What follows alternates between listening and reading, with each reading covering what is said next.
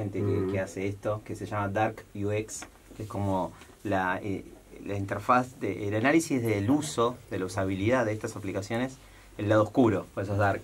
Entonces, eh, todos estos tipos que se hacen hace- se meten a hacer eso están cada vez más eh, observados y, y, de hecho las aplicaciones están obligadas ahora a, a difundir, por ejemplo, la cantidad de horas que pasamos usando Instagram, usando O Facebook. sea que la tecnología va a vigilar a la misma tecnología. Ya se está vigilando. Se autovigila. Sí, hay aplicaciones que te sirven para eh, controlar tu tiempo usando aplicaciones. Lo veo a Guille con ganas de entrar a la cancha. Guille, Entre metete, ellos. No, no, estoy, no estoy completamente de acuerdo, la verdad es que... ¿No estás de acuerdo? Estoy Sí. completamente Ah, de acuerdo, sí. sí, Quería sí. debate, Quería pero no debate, se que no. No, no, es que en Tres eso me horas parece que vamos a estar 33 todos... minutos. Estuve tiempo en la pantalla, 50 minutos por encima del promedio.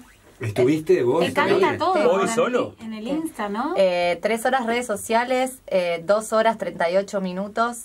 Productividad, 11 minutos. Nada. ¿Esto es hoy? ¿Estos datos Esto son de hoy? es el promedio de la semana. Ok. Un